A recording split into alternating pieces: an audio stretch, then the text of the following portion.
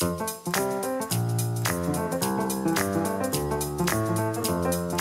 best way to really understand how to sell things is to talk to your customers. I mean, that's an obvious, uh, however, it's amazing how many people don't actually do that.